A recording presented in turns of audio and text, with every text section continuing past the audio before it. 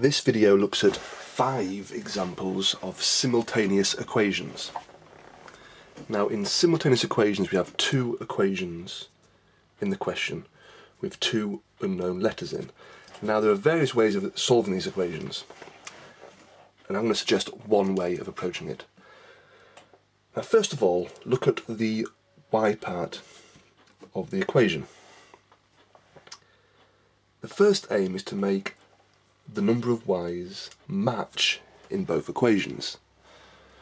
So, if I were to double the first equation, I would get 10x plus 6y equals 70. If I then triple the second equation, I get 9x plus 6y equals 69. So I now have the same number of y's in both equations. Now, I've got a plus 6y and a plus 6y here.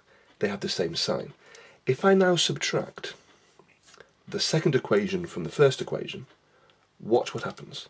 10x take away 9x is 1x. The 6y's cancel out. And 70 take away 69 equals 1. So 1x equals 1, i.e. x equals 1. So we found one of the letters. I now just want to find what the second letter is, i.e. y. I pick any of these equations. This looks the simplest to me. Now because I know x is equal to 1, I can replace the x here by 1. So three lots of 1 plus two lots of y equals 23. Now 3 times 1 is 3, plus 2y equals 23. Let's have to add on 3 to get to 23. 2y must equal 20. In other words, y must equal 10. So x equals 1 and y equals 10. These are the solutions to the two simultaneous equations. In the second example, I know the signs are different, but we approach it in the same way. I want to get the number of y's to, to be the same.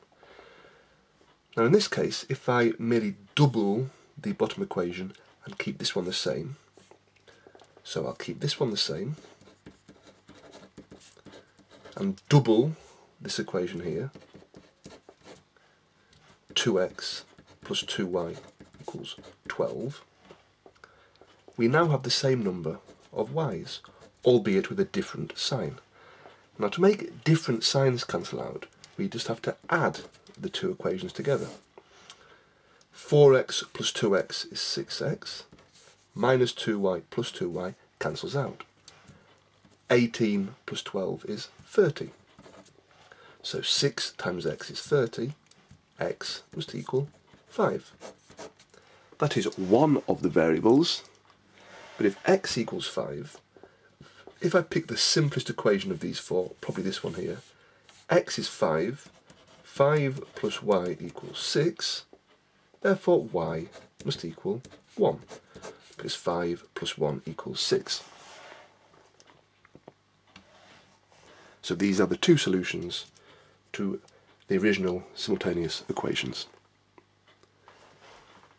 And in the final one, even more negatives, but again focus on the y's. If I double the bottom equation, I will get 4y, which will balance off the 4y above. So I will keep this equation the same. I will double the bottom equation, excuse me, minus 10. The signs are different, but I've got 4y in both equations. Now when the signs are different, we have to add together the equations to make them balance off. I must be very careful here. Now minus 3x plus 2x is minus 1x. 4y and a minus 4y cancels, and 11 and a take away 10, 11 take away 10 is 1. So minus x is 1, therefore x must equal minus 1. So that is one of the solutions to these pairs of simultaneous equations.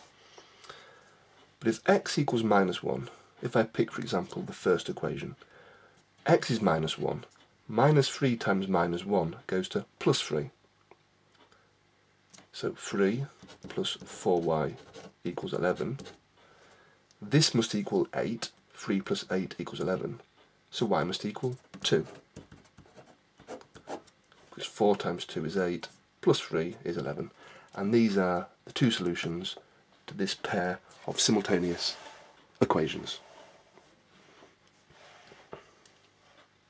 So to summarise, look at the y part in each equation and think what can I do to the equations to make the, the numerical part of the y's equal each other. And then, if they've got the same sign, we subtract. If they've got different signs, we add. The y's therefore cancel, so we find x, and having got x, we can then find y by putting x into one of the equations to find what y must equal.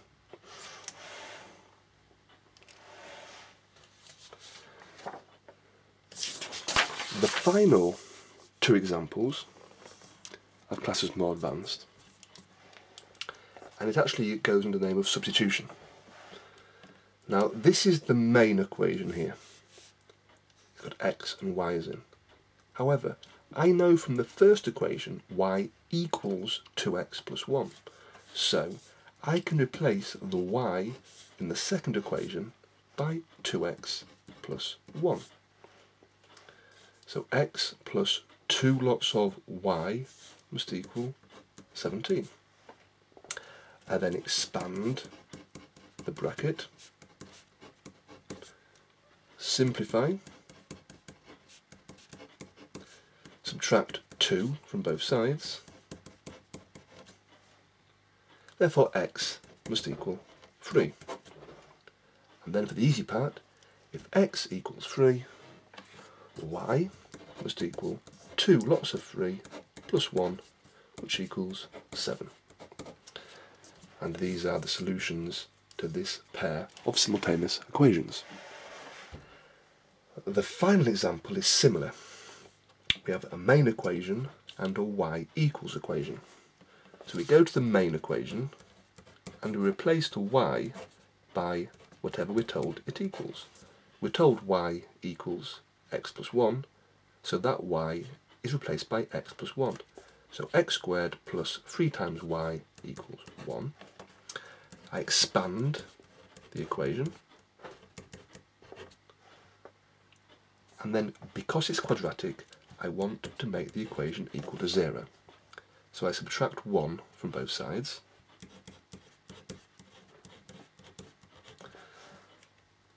This equation factorizes.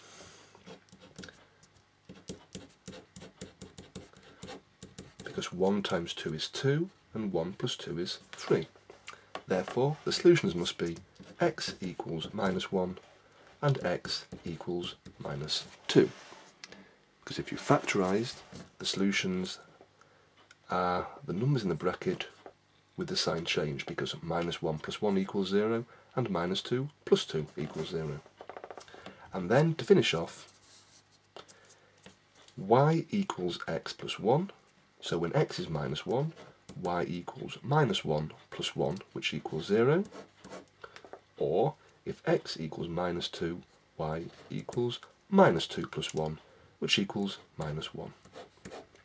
And these are the two pairs of solutions to this pair of simultaneous equations.